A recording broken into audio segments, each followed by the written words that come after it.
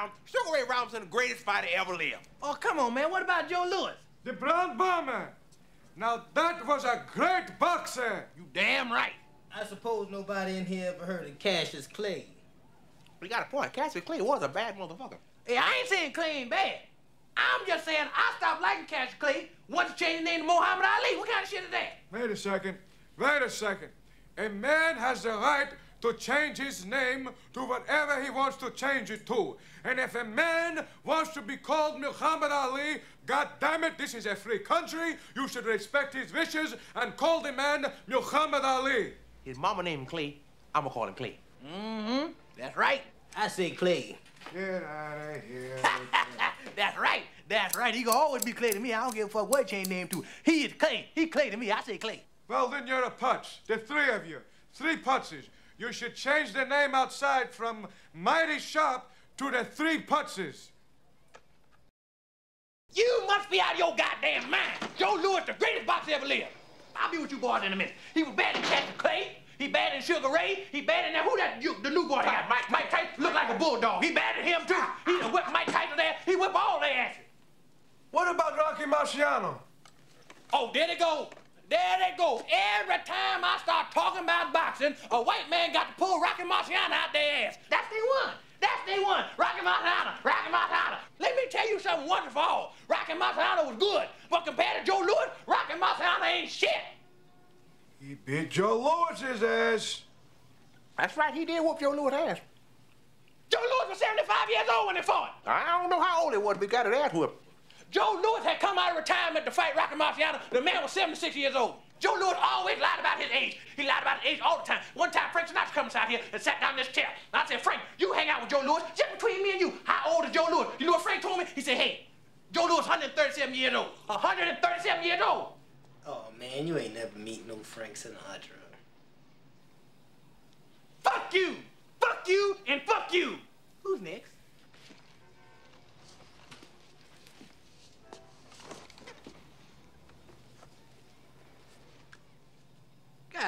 Damn, boy, what's that? Some kind of weave or something? It is my natural hair. I have been growing it since birth. Oh shit, what kind of chemical you got in there? I have put no chemicals, only juices and berries. shit, that ain't nothing but ultra Tell me how you want me to cut this. Just make it nice and neat.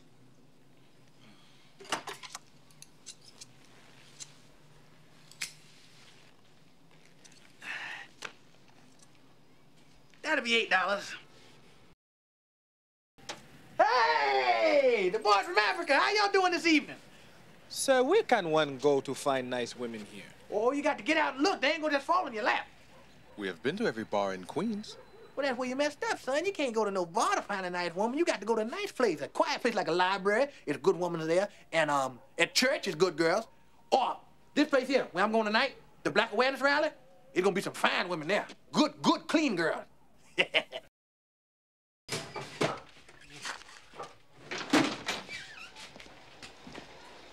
Excuse me.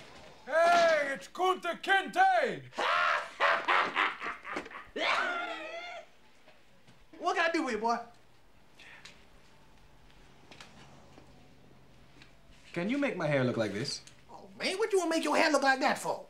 Well, I like the way you wear hair. Wear it natural, that's good, man. You know, I wish more of the young children today would wear their hair natural like Dr. Martin Luther King did. That's right. You ain't never seen Dr. Martin Luther King with no mess of Jheri curl on his head. Ain't that right? Amen. Dr. King ain't come walk around like that. You know, sweet, I met Dr. Martin Luther King once. And you lying, you ain't never met Dr. Martin Luther King. Yeah, I met Dr. Martin Luther King in 1962 in Memphis, Tennessee. I'm walking down the street, minding my own business, just walking on, feeling good. I walk around the corner, man woke up, hit me in my chest, right? I fall on the ground, right? And I look up, it's Dr. Martin Luther King. I said, Dr. King. He said, oops, I thought you were somebody else.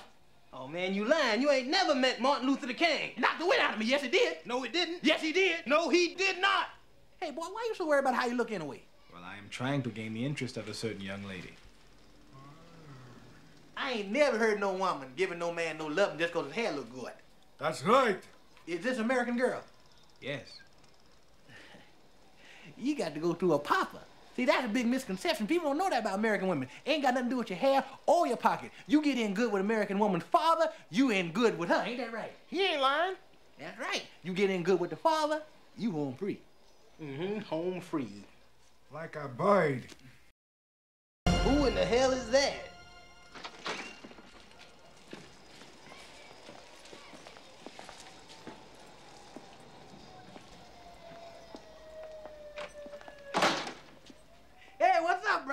Brother? You a little late for the Christmas pageant.